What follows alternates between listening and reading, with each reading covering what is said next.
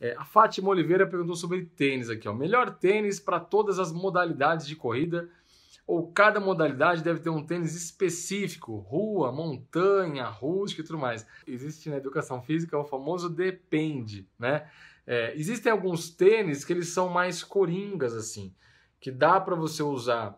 Tem algumas marcas e modelos que são mais ajustáveis, que dá para usar tanto na montanha, em provas de trilha, assim, quanto no asfalto. E outros modelos não.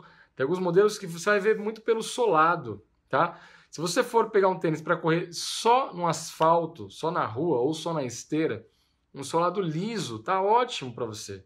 Então, talvez seja um tênis mais leve e aí você vai usar esse tênis, vai ter um melhor desempenho para correr na rua ou na esteira.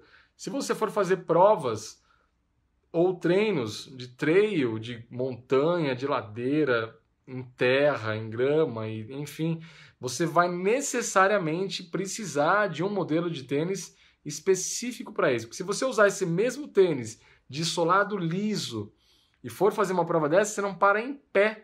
Você vai escorregar, você vai cair, você vai se machucar. Então, é... pô, mas eu preciso talvez comprar um tênis específico para cada treino. Talvez valha a pena um investimento. Depende aí do seu objetivo com a corrida. Se você for fazer uma prova, sei lá, de trail uma vez na vida, Aí eu não vou falar para você, pô, compra um tênis específico para ver se você gosta. Não, aí talvez não.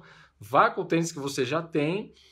Toma muito cuidado para não escorregar, para não se machucar e tal. Se for um dia que tiver chuvoso, provavelmente vai ser bem difícil parar em pé, tanto com tênis específico como um tênis liso.